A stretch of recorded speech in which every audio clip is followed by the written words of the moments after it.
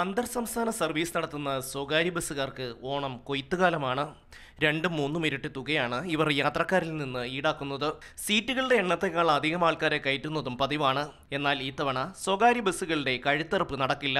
തുടർച്ചയായി K S R T C സർവീസുകൾ അടുത്ത സംസ്ഥാനങ്ങളിലെ പ്രധാന നഗരങ്ങളിലേക്ക് പറക്കും. Bangalore Mysore Coimbatore Chennai എന്നിവിടങ്ങളിലേക്കാണ് K S R T C service നടത്തുന്നത്. ഓഗസ്റ്റ് പതിനേഴ് മുതൽ സെപ്റ്റംബർ ഒന്ന് വരെ നൂറ് ബസ്സുകളാണ് അധികമായി സർവീസ് നടത്തുക. Multi axle Scania multi axle Volvo കൂടാതെ super deluxe super air express super fast fast passenger എന്നീ ശ്രേണിയിലുള്ള ബസ്സുകളും ക്രമീകരിച്ചിട്ടുണ്ട്. ഓൺലൈനായി സീറ്റുകൾ റിസർവ് ചെയ്യാമെന്ന് K S R T C M D Tomin Thachankary അറിയിച്ചു.